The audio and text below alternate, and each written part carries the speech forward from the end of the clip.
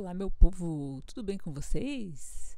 A louca aqui que vos fala gravou o vídeo, passou quatro anos na faculdade de rádio e TV e esqueceu de colocar o áudio na hora de gravar. Ou seja, vou ter que refazer todo o áudio desse vídeo. Então você está me vendo fazer várias coisas aleatórias com a minha mão, mas nem eu sei o que foi que eu falei aí. Então vou tentar me lembrar, tá?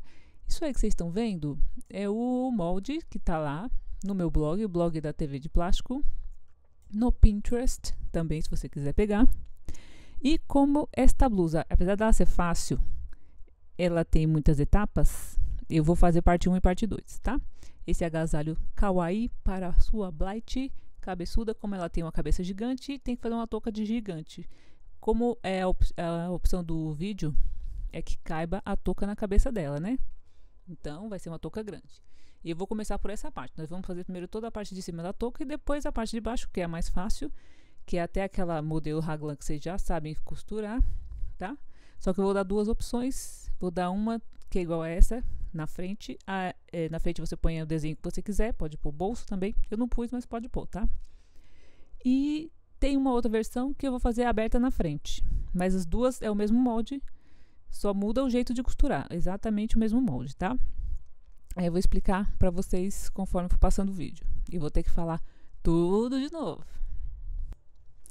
Eu deixei aí no molde também, para quem quiser, esse desenho do panda. Se você quiser fazer essa versão panda, né?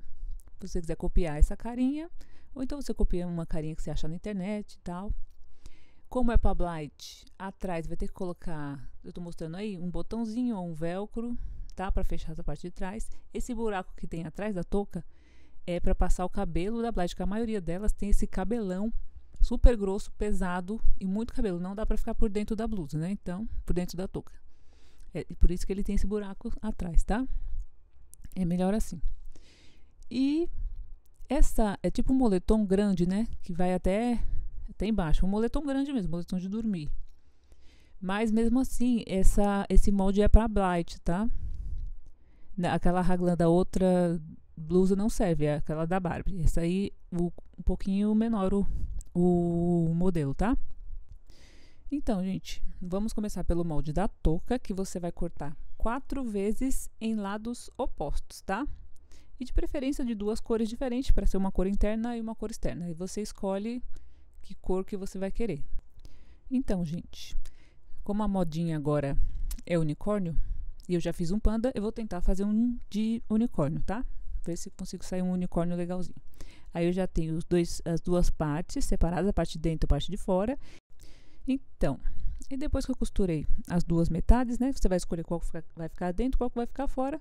Vai virar do lado certo e colocar a parte que você quer dentro da outra. Vai colocar uma touca dentro da outra, tá? As duas para poder costurar a parte da frente, ó. Você vai costurar toda a parte da frente.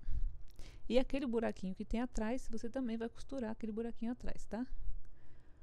Tem toda a volta da cabeça e mais o buraquinho que tem atrás.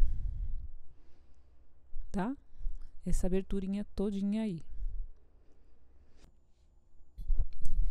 Então, depois que costurou os dois lados da frente e o fundo, pode fazer uns piquezinhos para virar, apesar que a malha nem precisa, né? Você vai virar pelos dois buraquinhos que sobraram, você vai virar.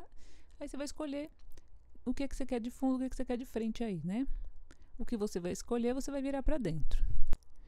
Aí você vai medir na sua blight para fazer as marcações dos detalhes agora, tá?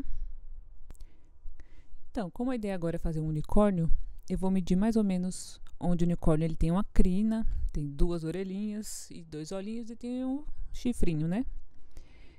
Aí a crina, eu peguei um monte de fitinha de cetim, costurei tudo uma do lado da outra num pedacinho de TNT, aí fui desfiando todas, desfiei, desfiei, aí virou assim essa coisa meio doida e vai ser tipo uma crina.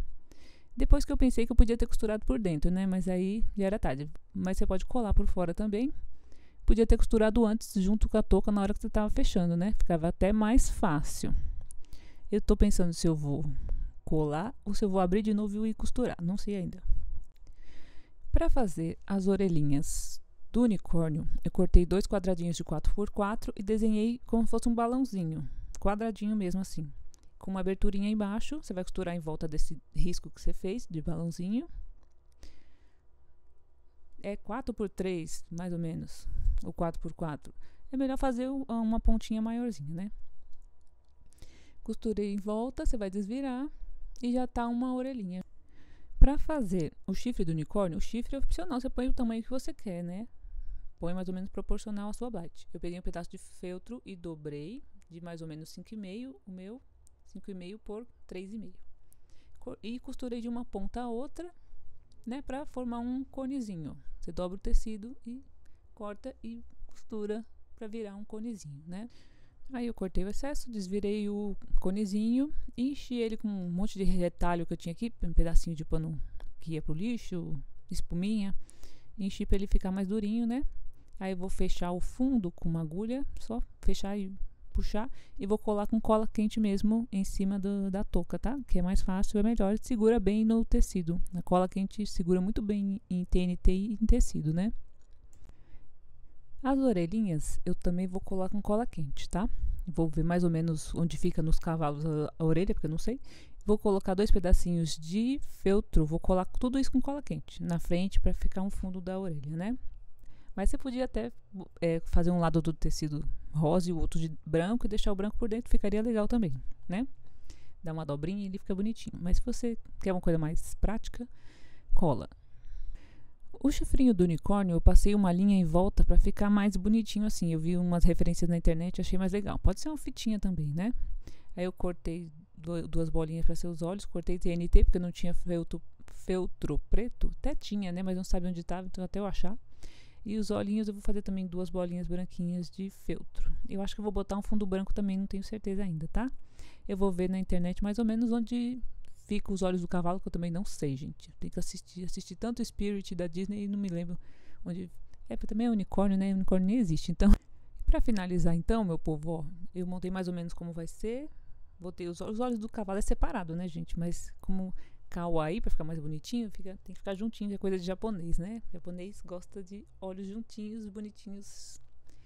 É a referência que eu peguei, né? Mas se você for assistir o filme lá do, dos cavalos de corrida, o olho do cavalo é de um lado pro outro, né? E esse chifre também é meio para frente, virado para frente. Eu coloquei o fundo branco no olho, colei as orelhinhas, as duas mais ou menos onde fica do cavalo mesmo. Tá parecendo mais um dinossauro LGBT do que um cavalo, do que um unicórnio. Mas relevem, viu, meu povo? Vou ver se eu faço uma segunda opção mais bonitinha e colei tudo com cola quente mesmo. Voltando para a opção panda, se você quiser as orelhinhas eu também colei, tá? São dois quadradinhos de 4x4. Você vai cortar redondinho, vai virar, vai encher, também com paninho lá e vai colar as duas é, mais ou menos onde fica a orelha do panda. Pega a referência na internet para não ficar torto, viu, gente? Você pode também colar olhinho aí na touca, se você não quiser fazer essa carinha na frente. Se você quiser fazer a frente aberta ou diferente, você pode fazer a carinha do panda na touca em vez de fazer na, na blusa. Fica bem legal também, tá? Aí eu vou para a parte 2 do vídeo, que é as duas opções da parte de baixo da roupa. Eu achei que ficou até melhor o vídeo assim, que eu falo demais. Então, como cortou o áudio, eu acho que eu deixei mais sucinto o negócio. Eu acho que a partir de agora eu não vou mais gravar com áudio, não, viu? Então a gente vai para a parte 2 e aí é a touca do dinossauro LGBT, tá, gente? e chega de enrolação, vamos para a parte 2.